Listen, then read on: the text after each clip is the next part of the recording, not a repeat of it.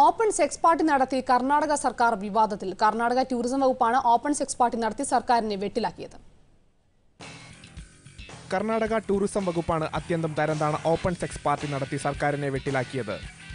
Spring rock island fest രണ്ടായിരത്തി പന്ത്രണ്ട് എന്ന പേരിൽ മൂന്ന് ദിവസത്തെ പരിപാടിയാണ് സംഘടിപ്പിച്ചിരുന്നത്. സെന്റ് മേരി ഐലൻഡിൽ നടന്ന പാർട്ടിയിൽ വിദേശീയരായ സ്ത്രീ പുരുഷന്മാർ യാതൊരു മറയുമില്ലാതെ ലൈംഗിക ബന്ധത്തിലേർപ്പെടുന്നതും മയക്കുമരുന്നും മദ്യവും ഉപയോഗിക്കുന്നതുമെല്ലാം വീഡിയോ ദൃശ്യങ്ങളിൽ വ്യക്തമായി കാണാം. ടൂറിസം പ്രോത്സാഹിപ്പിക്കാനാണ് ഫെസ്റ്റ് നടത്തിയതെന്നാണ് സർക്കാരിന്റെ വാദം.